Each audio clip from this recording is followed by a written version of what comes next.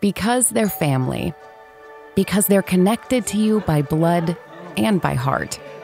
Because the battles pale in comparison to the bonds, there's Novaferrum.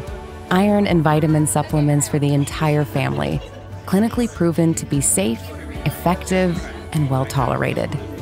Even when we can't tolerate them. Novaferrum supplements. Put a smile in your body